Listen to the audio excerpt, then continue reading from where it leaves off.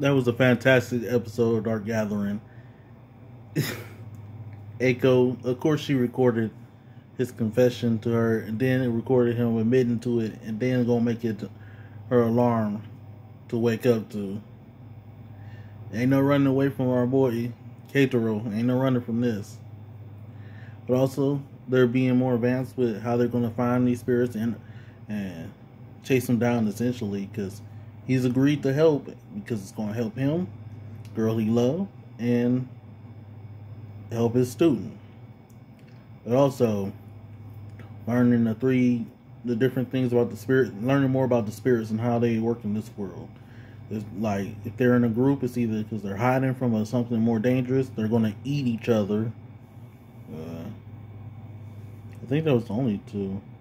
I think it was only two for that.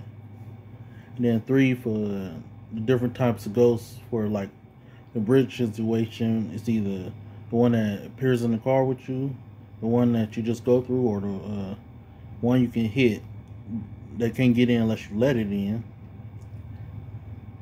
And they ended up with the third. He's really more sensitive to these things than even uh, Yao Yao, even though when Yayoi can see it.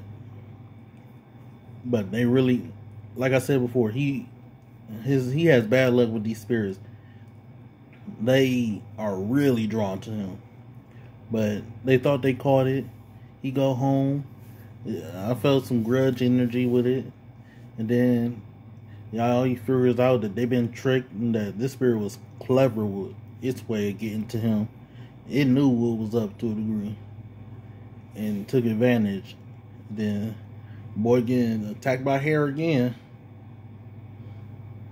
Getting choked up and then they come they lie to the mama to get in the house, get in the house, and then Yayoi uh, deal with the spirit. She is a demon, and good thing she's on her side and she's good.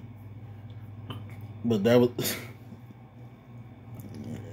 you understand why them spirits afraid of her, and not the other way around. And also, we got a name for the spirit. Well, she gave it a name based off of a myth, a legend, essentially